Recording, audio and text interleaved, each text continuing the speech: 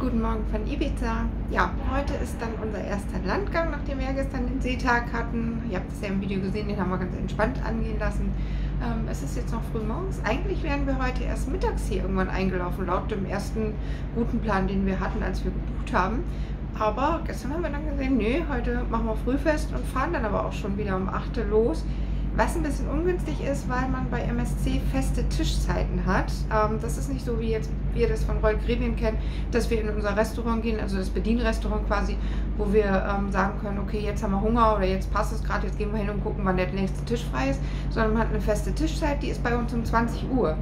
Ähm, wir laufen aber um 20 Uhr aus. Das heißt, sehr vermutlich ähm, werden wir dann halt heute Abend mal das Buffet-Restaurant nehmen. Ähm, normal machen wir es ja abends nicht so gern, aber es geht dann heute nicht anders, weil das Auslaufen wollen wir natürlich auch sehen wieder heute Abend.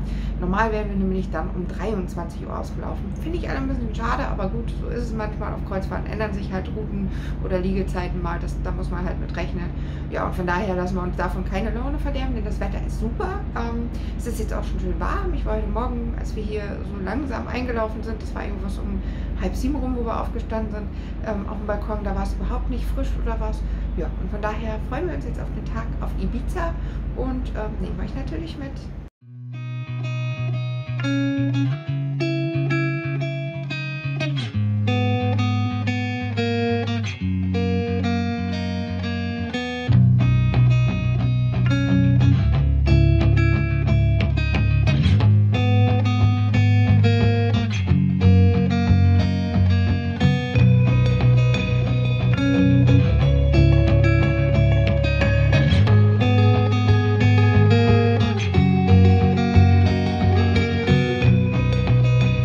Música